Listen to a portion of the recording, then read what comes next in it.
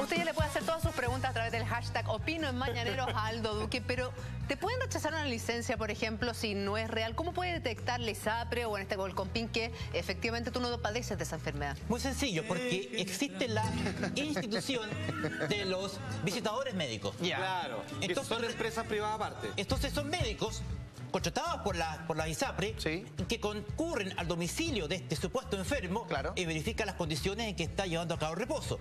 ¿Qué pasa? Que a veces no lo encuentran. Ya. Ah. Debiendo estar en reposo. O estando en la casa, lo, han encontrado en etílicas condiciones. En etílicas, condiciones. Conservándose el alcohol, Es que te estaba curando. Claro, te estaba curando. Claro, Tengo que curarme. hay ciertos, ciertos eh, Tengo que curarme.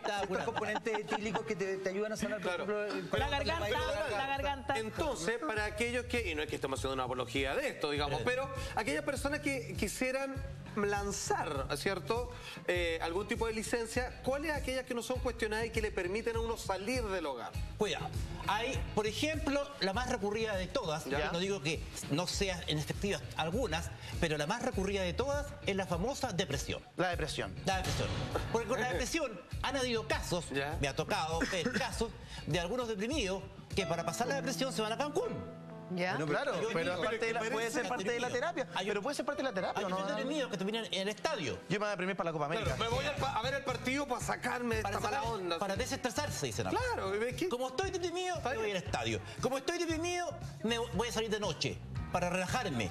Como estoy deprimido, me tomo unos tragos. Como estoy deprimido, salí con unos amigos. Entonces la depresión da para cualquier cosa, lamentablemente. Y son las más cuestionadas. Y las más rechazadas. Ahora, claro. claro ¿Y cómo se revisa? Es una, es una patudez también que hace que paguen justos por pecadores. porque cuando una persona verdadera, que verdaderamente tiene depresión, presenta una licencia, finalmente... A mí una vez incluso me pasó que yo presenté una, yo he presentado muy pocas licencias en mi vida, pero una de aquellas que era real era por estrés.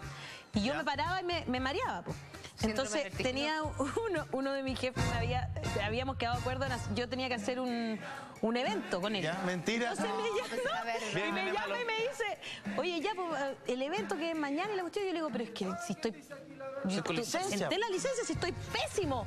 Y me decía, no, pero ¿cómo? No me creía, creía que yo había presentado la licencia de mentira. Y yo le decía, pero si estoy mal, yo no me puedo levantar, menos enfrentarme a un público para hacer un, un evento, imagínate. Pero tenemos, tenemos Twitter, Donaldo, mire, vamos a revisar las opiniones de la gente. Daniela dice, estoy con prenatal desde el 12 eh, de marzo y el compin aún no me paga. Mi bebé en 10 días cumplirá dos meses. Eso ¿Qué puede hacer ella, Donaldo? ¿Cómo puede hacer eso? Ahora, ella perfectamente, ¿qué puede hacer? Puede ir a la superintendencia y reclamar. Porque el compin, si bien es cierto, es un órgano fiscalizador y tiene facultades jurisdiccionales, es decir, resuelve si aprueba o rechaza la, la, Pero Donaldo, pero la guaguita existe, o sea, hay un, hay un nacimiento, o sea, ¿por qué en dos meses no le han ah, pagado su postnatal cuando es legal y justo? Porque puede haber ocurrido o que el postnatal no se justifique, yo creo que es el caso, se justifica, o bien perfectamente puede haber una lenidad, es decir, una falta de servicio. ¿Qué puede hacer la señora? Estoy desesperada, el copín no me resuelve.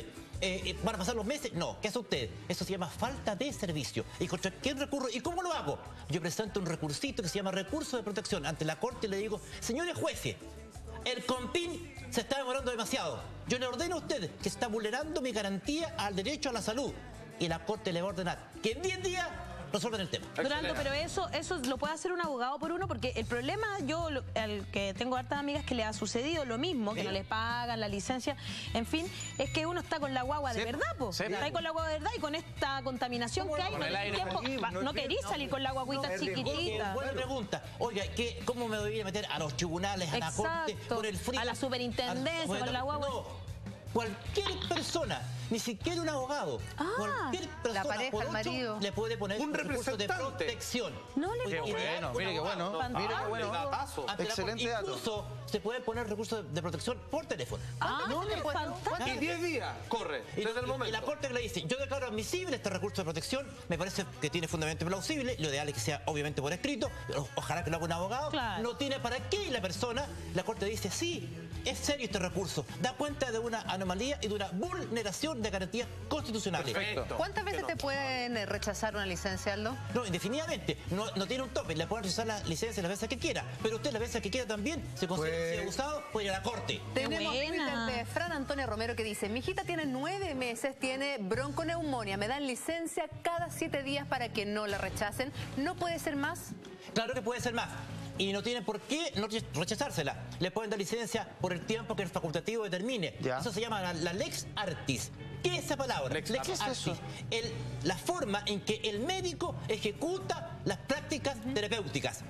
Y si el médico correctamente ha diagnosticado, en el caso de la señora, que tiene una patología que requiere más de 7 días de recuperación, puede ponerle 7, 10, 11, 15 días, no importa. Perdón, Ya, entonces, pero, perdón, pero entonces eso es un problema del médico. No, es que él se lo hace de siete días precisamente para que el compín no, no rechace, no El ponga médico, problema. Como para es como le pa- dice, pa facilitar el... El médico que le dice, mira, yo sé que si te la doy por más de 7 días, te van a hacer problemas. Entonces, ¿sabes lo que voy a hacer? Te la voy a dar por 7 días, 7 días, 7 días. Ah, aunque el doctor perfecto. sabe, aunque el doctor sabe... Que son por lo menos que por lo 20 menos días. 20 o 30 días. Claro. Y se la hace el mismo día. Tenemos otro Twitter, 10 con 31. Álvaro González dice, tiempo atrás me operé un tendón del tobillo. Seis meses de licencia, dolor. la última en marzo, y aún no me la pagan. Mira, Seis po. meses. ¿Qué puede hacer con su tobillo y su licencia? ¿Qué pasa? Y con la operación. Si no se la pagan, puede haber una razón muy sencilla. Puede que el empleador no haya enterado los fondos donde correspondían y se haya quedado con el más área que en el bolsillo. Cuidado, puede ser objeto de un delito. Puede estar siendo víctima de un Ya, ¿Y delito. cómo se puede saber eso? ¿Qué hace? Usted parte a unos locales que se llama Chile Atiende. Ya. Atiende. Chile Atiende. Oiga, quiero saber qué pasó con mis fondos provisionales, si mi empleador enteró o no me enteró mis cotizaciones de salud. Si se la enteró, no hay razón para que no se la paguen, entonces tiene que exigirlo. ¿Y si no lo ha hecho? Si no enteró, acción criminal por apropiación indebida porque se trata del trabajador. Contra el porque esa empleador. plata, Claro. Pero esa es plata la paga, ¿no? la paga la institución de salud, ¿no? Así es, pues. Claro. Priscilita dice, tengo tres licencias rechazadas por una hernia lumbar. Estoy a punto de tener mi bebé, presenté documentos y aún así tengo que apelar. Ya, la hernia lumbar. La hernia lumbar eh, también es otro de los factores eh, o patologías que más se recurre. ¿Por qué? Porque ¿qué es una hernia lumbar? ¿No es cierto? Entre los discos de la columna Sí. se asoma cierta masa cartilaginosa Claro. que presiona el nervio ciático y produce dolor. Por el algo. peso. Claro. Que Además, ella está a punto de tener a su guagua y todavía no le pagan. ¿Por qué? Porque no ha apelado. ¿Qué tiene que hacer? Pero dijo No que iba a apelar, ¿ah? Claro, va a apelar. No esperen el último día. Apenas le dicen que no, que no le van a pagar la licencia, que es muy común, usted apela de inmediato. Ya. El tiempo corre siempre a favor Ahora, de SAPRI. ¿por qué dicen que no para ganar tiempo o porque esperan que quizá algún grupo de porcentaje de personas no apele y se quedan con la Le cuento, Yo creo que- porque más del Cuéntanos. 72% de la gente no reclama. No le puedo eso creer. Es, es negocio. Es Es mucha negocio. Pero es que Es uno está negocio. enfermo, yo también entiendo a la gente, uno está enfermo, ella tiene una hernia lumbar y un embarazo. ¿Cómo va a ir ahora a Con un reclamar? representante. Entonces, Claro. Ahora se puede. Claro. Otro no lo Twitter. sabíamos. Pero se aprovechan de yo no tengo tiempo de hacer trámite. A un abogado. Un abogado. Váyase a hacer trámite. 10 con 32, otro Twitter, hashtag Opino Mañaneros, todas sus consultas esta mañana para Donaldo Duque. Isa Pérez, mi hija tiene reflujo grado 3. Grado tres. Tuve cuatro meses de licencia y me la rechazaron todas. Hoy estoy endeudadísima. Lo que pasa es que además la- la- el reflujo Tiene tiene, muy mala fama. Se habla del, del refalso incluso. Lo que pasa es que al reflujo le pasa lo mismo que la depresión. Sí. Ha sido mal utilizado. Entonces el sistema no les cree por culpa de algunos inescrupulosos que fingen, simulan o derechamente falsifican síntomas. Entonces, ¿qué es lo que hacen ellos? Rechazan los reflujos, rechazan las depresiones. cuando Ya, pero el sistema también tiene que separar los casos que son reales de los casos que son... El problema es que eh, ¿cómo, famosos. cómo hacer esa separación? Porque entonces te tendrían que ir a ver y estar todo el día al lado de tu guagua para verla cuando vomita así. Claro. Como el exorcista, porque así es el grado 3, así. ¡pah! Oye, qué buena pregunta. Uno podría llegar, Sí, así como sí, además igual. de la licencia, con un video probatorio de aquello. Perdón la pregunta, pero o, o no corren acá muestras audiovisuales como No, fundamento. Solamente los únicos antecedentes que se utilizan y que son válidos son los la anamnesis, el examen que hace el doctor. Eso se llama anamnesis.